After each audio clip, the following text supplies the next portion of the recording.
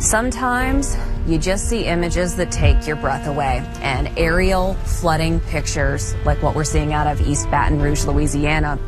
They definitely leave me speechless. I gotta say, when you're seeing the aerial view of what radar has depicted in rain totals, it really brings it home, doesn't it?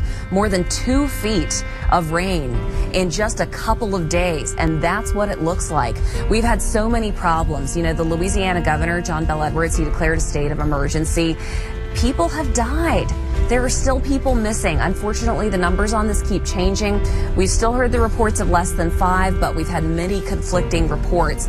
I will also tell you that there's been over a thousand rescues that have been performed in so many parishes across Louisiana. And it wasn't just people, pets were being rescued. Look at these guys. And even, oh, Polly there needing to be rescued along with some kitty cats.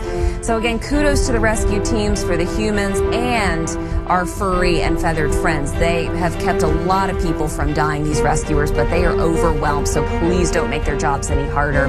Now, again, we have had so much river flooding. We have rivers that have yet to crest, and it finally looks like some of them will start coming down, but not until Monday.